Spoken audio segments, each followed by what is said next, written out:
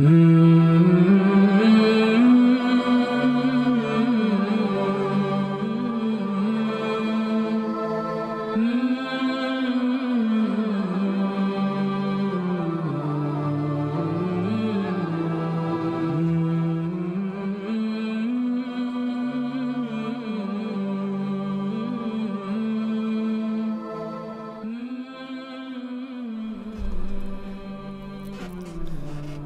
Güler yüz sevginin anahtarıdır. Melek Hanım kına gecesi için saatler öncesinden hazırlanmaya başlayan torununu Erva'yı gülümseyerek seyrediyordu. Onun hazırlıkları tamamlandığını görünce yanına yaklaştı. Biraz konuşmak istiyordu.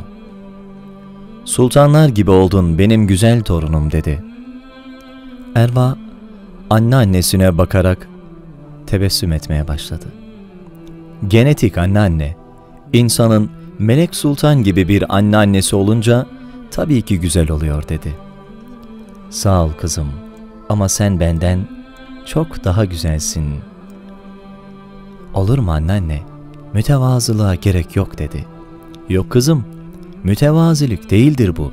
Ben bekarken senin kadar güzel değildim. Ben evlenince güzelleştim. Nasıl oluyor dedi. Bir insan güzel değilken evlenince nasıl güzelleşir dedi. Beni büyük babanın sevgisi güzelleştirdi. İnşallah sen de benim kadar mutlu olursun evliliğinde de sen de daha çok güzelleşirsin. Hem çok sevesin hem de çok sevilesin. Sağ ol, sağ ol anneanneciğim dedi. İnşallah öyle olur. Sevgi Allah'ın karı kocaya verdiği büyük bir ikramdır, hediyedir. Kıymetini bilmek lazım. Ben evlenirken üç kişi bana öğüt vermişti. Üçünün söylediğini de yaptım ve çok faydasını gördüm. Büyük baban ile sevgimizin uzun yıllar sürmesinde bu üç öğüdün çok büyük yeri vardır sevgili kızım. Ben de şimdi sana öğreteyim ister misin? Elbette isterim Melek Sultan.'' Çok sevinirim dedi torunu. Melek Hanım torununun elinden tutuyor. Gel şöyle oturalım ayaküstü. Gel dedi.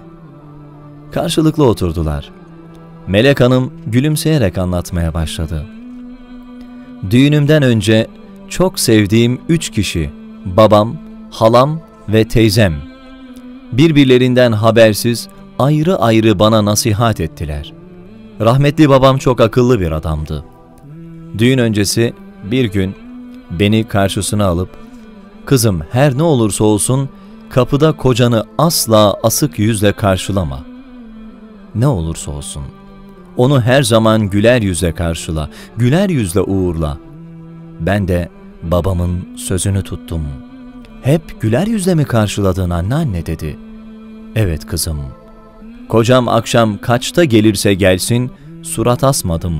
Giyindim, kuşandım, onu sevinçle karşıladım. Bazı akşamlar geç gelirdi fakat bir tek gün niye geç geldin demedim. Yüzümü de asmadım. Vaktinde gelmiş gibi ondan güler yüzümü hiçbir zaman esirgemedim. Ne güzel yapabilmişsin Melek Sultanım dedi. Ben de yapabilir miyim acaba? İstersen yaparsın kızım.'' Şeytanın vesveselerine kapılma. İçinden iyi şeyler gelmiyorsa kendini de dinleme. Kibir, gurur, çok bilmişlik bazen dürter insanı ama mutsuz eder insanı. Kocanı bunların hepsinin üstünde tutasın. Evin kapısını açarken gönlünün kapısını da aç eşine. Yorulmuştur dışarıda, güler yüzünle önce gönlünde bir dinlendir.'' Coşku ve sevinçle aç kapıyı. Eve gelmesinden ne kadar mutlu olduğunu öyle hissetsin, öyle hissettir ki evine koşa koşa gelsin.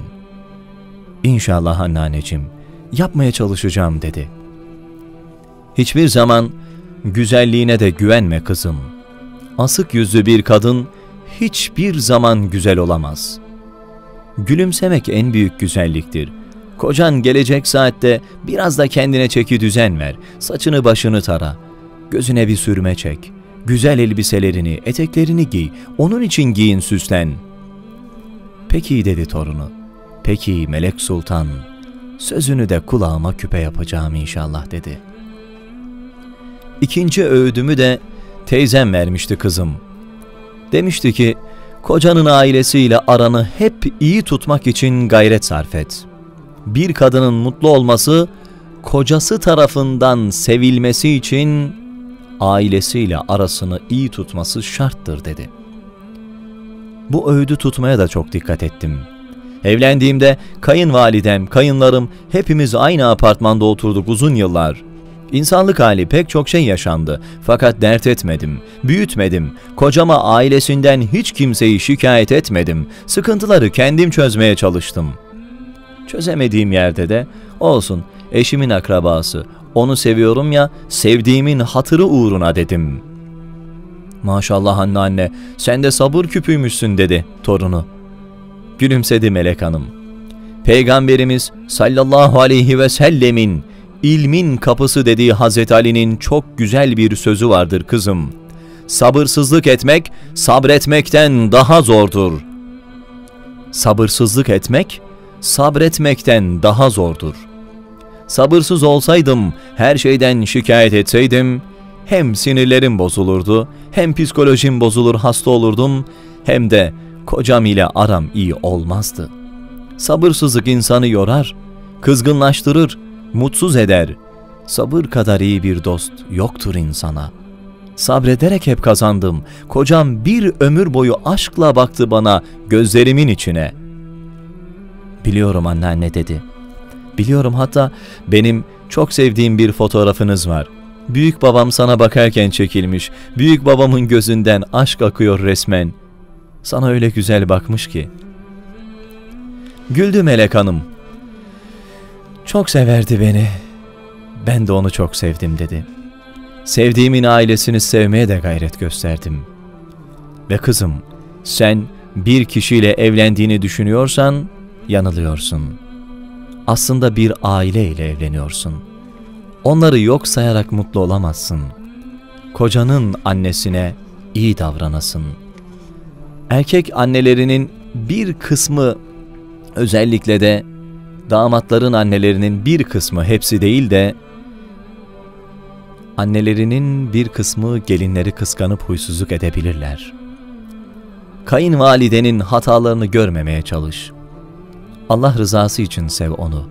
Saygıda, güler yüzle kusur etme. Sakın ola kayınvalidenin arkasından konuşma. Onu eşine şikayet etme. Hiçbir erkek ailesine saygısı olmayan, onları sevmeyen kadını sevmez. Başta sevse bile bir müddet sonra eşine kırgınlık ve kızgınlık duymaya başlar. Beni sevseydi ailemi de severdi diye düşünmeye başlar. Kayınvalidemin oğluna düşkünlüğüne biraz gıcık oluyorum ama ben diyordu. Torunu.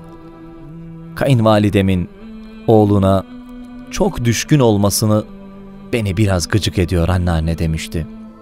Aman kızım sakın sakın anne ile oğlu kıskanma.''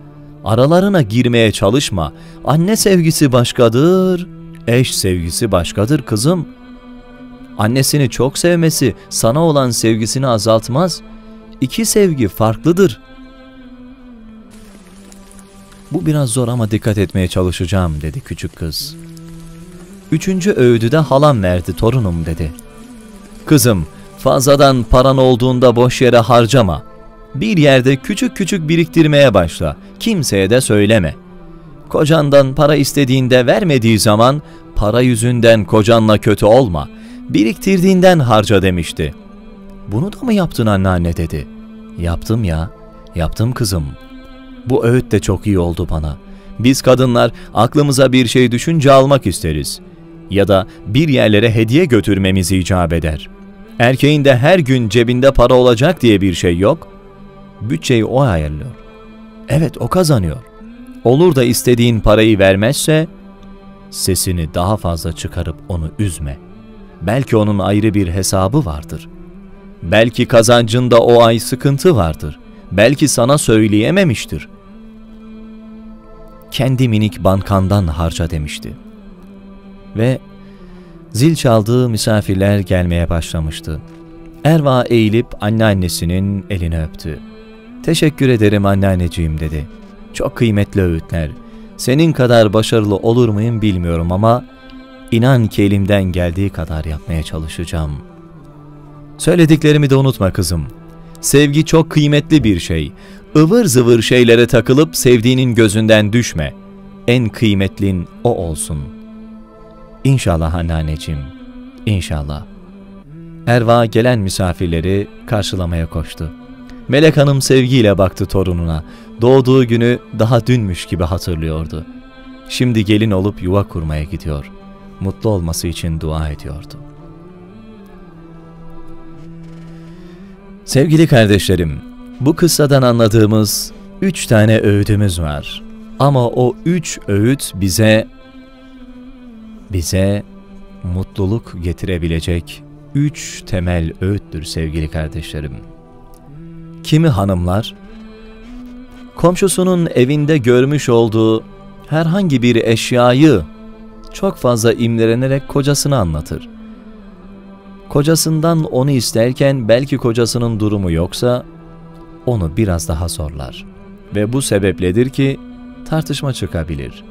Kimi kadınlar asık yüzlülüğünden dolayı belki hani derler ya bir fındık tanesini doldurmayacak bir küçücük bir parça için, küçücük bir konu için birbirlerini üzüp surat asarlar. Halbuki e tamam ne yapalım? Olmadıysa olmadı ya da olmuyorsa olmuyor. Biraz sakinleşmesini mi beklesek?